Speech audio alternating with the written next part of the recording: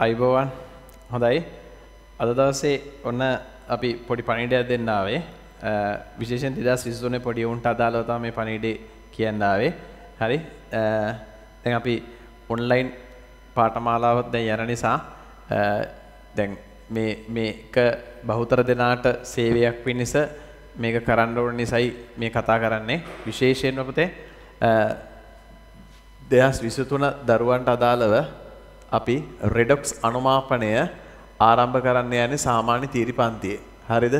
ආන් එතනදී මම කියන්නට ඕනේ මේක ගොඩාක් දරුවන්ට පට්ට සංකීර්ණ කොටසක් වෙලා තියෙනවා. ඉතින් මීට අවුරුදු කීපයකට කලින් උදාහරණයක් මීට අවුරුදු 5කට විතර කලින් මමත් කරේ මේකේ ගණන් ටික හදනවා. ඒකට දාලා ක්‍රමවේදය තමයි ගියේ. නමුත් ඒ ක්‍රමේ හරි අසාර්ථකයි කියලා මට තේරුණා. මම ගාන හදනවා දරුවෝ වැඩ කරන එක පට්ට මීටරයක් සමහරවට ඒක තේරුම් ගන්නවා. අනිත් දරුවන්ට මීටර වෙන්නේ නැහැ. ඒ නිසා මම කල්පනා කරා මේකට දාලා මොකද්ද කරන්න කියලා. ඒතර මට මරු ක්‍රමයක් අහුවෙලා තියෙනවා. ඒ ක්‍රමයට අදාළව ඔයාලගේ විභාග මේ තාක් අහලා තියෙන සියලුම ගණන් සෙට් එක ගොඩ දාන්න පුළුවන්. විශේෂයෙන් අයඩමිතික ගණන් ආකාර 8කට අදාළව ඊළඟ යකඩ සම්බන්ධ ගණන් ආකාර 5කට අදාළව පොහොර සම්බන්ධ ගණන් ආකාර 4ක් අහලා තියෙනවා පිනප්තලි මෙතිලෙන් සම්බන්ධ හසල දැනුමක් අරගෙන ඒකට අදාළ සැලසුම් සහගත පියවර ක්‍රමයක්. ලෝකේ හොඳම අධ්‍යාපන පියවර අධ්‍යාපනය. ඉතින් ඒ නිසා ඒකට දාලා ඒ ඉගෙන ගන්න ඒවත් එක පට්ටට නියම ටෙක්නික් එකක් සහිතව ගොඩ දා ගන්න පුළුවන් ඇත්තටම මරුම ක්‍රමයක්. පියවර ක්‍රමයකට තියරියෙන් ගණන් හදතේගේ. මම කියන්නේ තියරිය පට්ට නම් ඕන තරම් ගණන් හදියාගේ. තියරියෙන් මම විභාග ප්‍රශ්න හද හද හද හද පෙන්නන්නවා. පැහැදිලිද? ඒ නිසා ඒ ක්‍රමය පුතා අල්ලගත්තොත් පට්ටට ගොඩ දා ගන්න පුළුවන් වෙයි. ඒ හින්දා නිකන් වචනෙන් කියලා වැඩක් නැහැ. වැඩියට සෙට් වුණොත් එහෙම හරියන්නේ. පළවෙනි දවසේම සම්බන්ධලා බලන්න. ඒකට දාලා මරු ටෙක්නික් ටිකක් හම්බේ. ඒකේ මූලික පියවර තමයි රෙඩොක්ස් තුලිස් සමීකරණ ලිවීම. තුලිත සමීකරණ ලියාගෙන ඒක තනි පේලින් සමීකරණේ ලියා ගන්න ගම තුලිත සමීකරණය. අයනික එක නෙමෙයි තුලිත සමීකරණේ ලියා ගන්න සාමාන්‍ය ටීචර්ස්ලා ක්‍රමයක් කියලා දෙන්නේ. අපි එකට මරු ක්‍රමයක් වාට යෝජනා කරයි. ඒකට පොයින්ට් තියෙනවා කීපයක්. ඒ ටික දැනගත්තා ඕනෑම තුලිත සමීකරණයක් ඔයා ලියයි. මට ඒකට ලොකු විශ්වාසයක් තියෙනවා. ඒ නිසා අපි මම මෙහෙම කතා කරලා මට අයිතියක් තියෙනවා. එකක් විශේෂයෙන්ම කාලයක් තිස්සේ කුරුණෑගල නගරේ ප්‍රධාන රසායන විද්‍යා ගුරුවරයා මහනුවරට වසර 3ක් වගේ කෙටි කාලයක් ඇතුළත ගිහිල්ලා අපි ප්‍රධාන රසායන විද්‍යා ගුරු වෙලා තියෙනවා. දැන් ලංකාව දරුවන්ටම අපි උගන්වනවා. ඒ හින්දා ප්‍රතිඵල අපි වාර්ෂිකව පෙන්ලා තියෙනවා. අධ්‍යක්ීම් බහුලයි.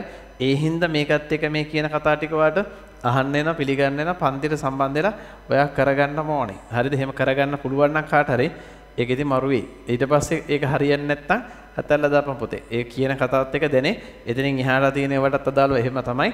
ඒකෙදි මූලාරම්භයේ විදිහට පට්ටම කොටසක්නේ රචනා ප්‍රශ්නයක් gediya පිටින් අපිට කොට දා ගන්න පුළුවන් එකක්නේ. ඒ කියන ක්‍රමේ මරු හින්දම තමයි මම මේ ආවේ. බහුතර දරුවන්ට මේකේ සේවයක් වෙනවා නම් ඒක මරුනේ ලංකාවේ ඇතුළේ ඉන්න බහුතර දෙනාට. ඒ හින්දමයි මම මේක කියන්නේ.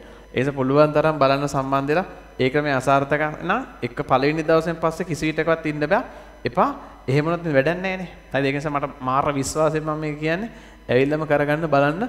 ඒක මාර වැලුව එකක් තියෙන දෙයක් නිසා මම කියන්නේ. පැහැදිලිද? හරි. ඒතර අනිත් පාඩම් වලට ඉතින් එහාටත් එහෙමයි. නමුත් මේක ඇප්ලයි කරලා බලන්න කොහොමද කියලා. මේ තාක්කල් අනුමාපනයේ අම්ල ප්‍රශ්න අනුමාපනයේ ගණන් ආකාර 6කට සාන්ද්‍රණයේ ගණන් ආකාර 10කට අපි ඔය විදිහට හදලා තියෙන්නේ. ඒවා මොකද අනුසූත අනුබය සූත්‍ර ගණන් ආකාර 7කට අපිව කරලා තියෙන්නේ බලන්න කොහොමද කියලා. රයිට් ඒ නිසා ඒකත් එක්ක මරුම කතාවක් වාට එළියට ඉතින් ඒකත් එක්ක වාට දැනේ. ඒ නිසා නිකාං ගණන් හදාගෙන ඔහේ ගියට වැඩක් නැහැ. ඒව ගණන් ආකාර විදිහට අපි දැනගත්තාම පියවර ක්‍රමයට එතන තීරියෙන් ගණන් හදන්න ඉගෙන ගත්තාම ඒක මරු ගණන් හදලා කෘතිම වෙනවට වඩා තීරියක් හරියට දැනගෙන ඒකත් එක්ක ඇප්ලයි වෙනවනම් පට්ටයිනේ වෙන්න ඕනේ ඒකේ. අපි කරන්න ඕන ගුරුවරයෙක් කල යුත්තේ අදක්ෂෙක් දක්ෂයෙක් කරන්න. එතකොට පහසු මාර්ගයක් ගෙනියන්න. අපි තමයි උත්පේරක. උත්පේරකයෙන් කරන්නට ඕනේ දරුවා හරි මාර්ගයට නියමිත තාකට් එකට ගෙනියන්න පහසු මාර්ගයක් තෝරලා දීම. ඒ නිසා අපි ඒ වෙනුවෙන් වැඩ කටයුතු කරගෙන යනවා. රයිට්. දැන් එතකොට පුතේ මේ මේ වැඩේ යන්නේ මෙන්න මේ විදිහටයි. හරි. IMS මහනුවර දරුවෝ ෆිසිකල් ක්ලාස් මේවා ඔක්කොගෙම යන්නේ. ඕල් අයිලන්ඩ් එක ඇරෙන අනිත් ඔක්කොම ෆිසිකල් ක්ලාස්. ඉරිදා පෙරවරු 7:45 ඉඳන් පන්ති යනවා. සිප්පින් එකේ දරුවෝ සෙනසුරාදා පස්වරු 12:45 ඉඳලා යනවා. රයිට්. එතකොට මේ වගේ ඉතින් අපි ඉන්න දරුවෝ දන්නවා මේ හැම නගරයකම ලීඩින් ඒ නිසා එන දරුවෝ දන්නවා මේ ගැන තව එකෙකුට දැනගන්න. විශේෂයෙන් ලංකාපුරා ඉන්න දරුවන්ට ගොඩක් දැනටම සම්බන්ධලා ඉන්නවා. අනිත් දරුවන්ටත් මේ බව පවසන්න. මොකද මේක මරු ක්‍රමයක් නිසා මේකට ඇප්ලයි වෙලා බලන්න. ඒ නිසා බොහොම ආදරෙන් මේක කියනවා නිසා මේකට අදාළව මේ හම්බු කරගන්නම කියන කතාවක් කියලා හිතන්න එපා. ඒක අනිවාර්යෙන් කියන්න මොකද අපිට ජීවත් වෙන්න සල්ලි තියෙනවානේ. අපි කතන්දර වලට කියලා ඇති අතීතයේ කොහොමද දැන් කොහොමද කියලා. පන්තිරට එනෙමුන් දන්නවා අපි දරුවගේ මුළු මේ කියන්නේ මොලේ හදන්න, මොරල් හදන්න කියන කතා. ඈ රයිට්. ඉතින් අපි අපිව පච කරගෙන ආර්ථිකය අතීතයේ මෙහෙම පට්ට දුප්පත් තැන් වලින් අපි ඉගෙනගෙන අධ්‍යාපනයේ වටිනාකම හොඳටම දන්න මිනිස්සු මේකේ ටේස්ට් එක රස බව දන්නවා. ඒ හින්දා විශේෂයෙන් ගමේ දරුවෙක් හරි කොහේ හරි ඉන්නේ හේකොට සේවයක් වෙන්න මේ කියන කතාව. ඒ නිසා මේක වෙනද ගන්න කියලා කියන්නේ ඒකයි ආ. හරි. ඊළඟට ශික්ෂා දරුවන් සඳුදා පස්වරු 2.6 තියෙනවා. ඊළඟට ඒ ෆිසිකල් ක්ලාස් එක ඊළඟ අපි රෑන්ක් පේපර් එකක් කරන MCQ 25ක ඩිස්කෂන් එකක් යනවා. ඒතර ඒක බදාදා දවසේ පස්වරු 6 සිට යන්නේ ඔන්ලයින්. අපි මේක සාමාන්‍ය ෆිසිකල් ක්ලාස් එකට එන දරුවන් නම් පේපර්ස් බලලා හදලා දෙනවා මේ වෙනකොටම ගර්ල්ස් බොයිස් කියලා බොක්ස් දෙකක් පිටිපස්සේ තියෙනවා. කැමති බොක්ස් එකට දාන්න පුළුවන්.